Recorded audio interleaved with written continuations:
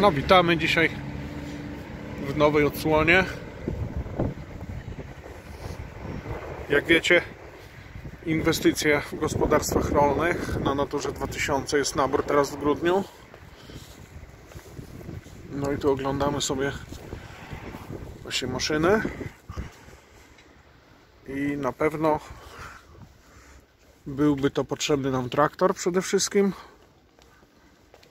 do, do tuzów, do łąk. Pomocniczy ciągnik. No i tak padło na Fergusona, no bo nam się, mi się podoba, żonie się podoba. Na pewno byłby to dla niej przede wszystkim traktor.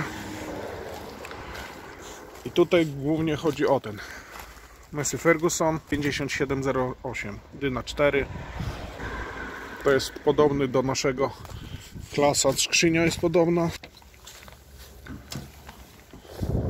chyba, że taka sama nawet jest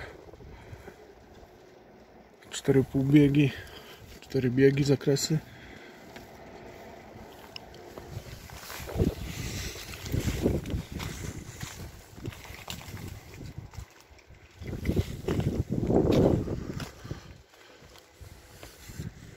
No, podobnie.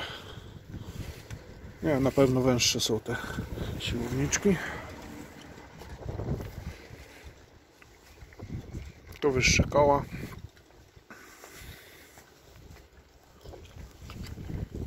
Czterysta dwadzieścia osiemdziesiąt pięć na trzydzieści osiem, a w tym 420 85 na 34, czyli tak jak ma w Fergusonie. Chyba szersze troszeczkę. No jest tu parę fajnych rzeczy też innych niż ciągniki. Massey Ferguson to jest Combine 7345S Activa. Bardzo ładny, szeroki ma header. Dokładnie nie wiem ile, bo nie pytałem o niego.